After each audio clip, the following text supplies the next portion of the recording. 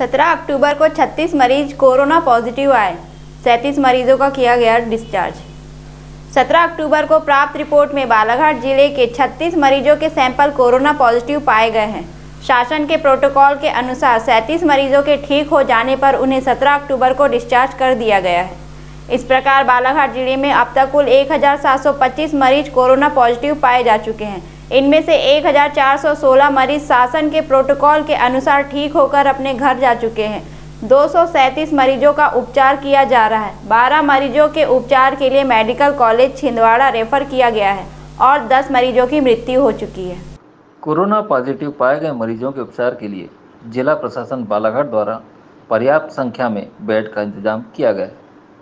Covid centre Gonglai, Balaghat, Baihar एवं ब्लांजी में 575 bed एवं आईटीआई के पीछे बूढ़ी बालाघाट में बनाए गए कोविड अस्पताल में ऑक्सीजन सुविधा युक्त तो 105 बेड का इंतज़ाम किया गया है। 18 अक्टूबर को प्रातः 11 बजे की स्थिति में कोविड केयर सेंटर के 575 में से 110 बेड मरीजों से भरे हुए हैं।